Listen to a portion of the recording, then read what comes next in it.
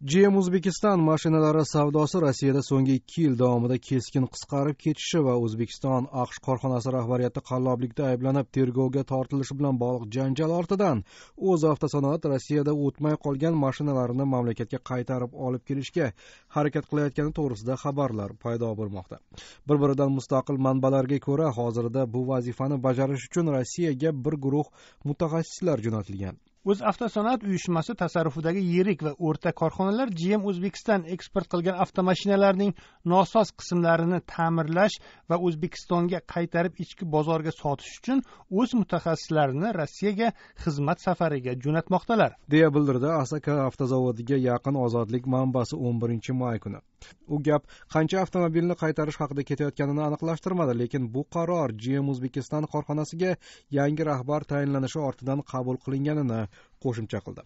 Ayni mazmundagi xabarni el tuz mustaqil nashri ham o'z manbasiga tayanib tarqatdi. Rossiyaga safarga ketgan xodimlar rossiya avtosalonlarida o'tmay yotgan buzuq mashinalarni ta'mirlab o'zbekistonga qaytarish bilan shug'ullanishadi deya iqtibos keltiradi nashr o'zini jm o'zbekiston zavodi muhandisi deb tanishtirgan manbadan. El tuzcom nashri manbasi ham jm o'zbekiston qo'shma korxonasiga yangi bosh direktor etib tayinlangan rustam rajabovga rossiyada o'tmay qolgan o'zbek yuk mashinalarini o'zbekistonga qaytarib olib kelib aholiga sotish vazifasi yuklanganini aytadi. Gm o'zbekiston rossiya bozori uchun ishlab chiqaradigan ravon brendining rossiyadagi dileri bu ma'lumotni na tasdiqladi va na inkor qildi. Lekin vakolatxonaning bildirishicha gm o'zbekiston qo'shma korxonasi rossiyaga ravon r ikki rusumidagi avtomobillarni yetkazib berish jarayonini boshlagan. Joriy yil oxiriga qadar korxona ikki yarim mingga yaqin ravon r ikki mashinalarini sotishni rejalashtirmoqda deyiladi rasmiy xabarnomada. Bu degani rossiyaga yuborilgan mutaxassislar guruhi keyingi ikki yil davomida eksport qilingan lekin sotilmay qolgan mashinalarni qaytarish topshirig'ini bajarayotgan bo'lishi mumkin. O'tgan yil oxirida rossiyada o'zbek avtomobillari savdosi ellik bir foizga qisqargani to'g'risida xabar qilingan edi. Yevropa biznes uyushmasining avtomobil ishlab chiqaruvchilar qo'mitasi bergan raqamlarga ko'ra ikki ming o'n beshinchi yilda rossiyada sotilgan o'zbek avtomobillari soni o'n olti mingdan kamroqni tashkil etgan. Ayni uyushma ikki ming o'n to'rtinchi yilda ham rossiyada o'zbek avtomobillari uchdan bir hissaga kamroq sotilganini bildirgan edi.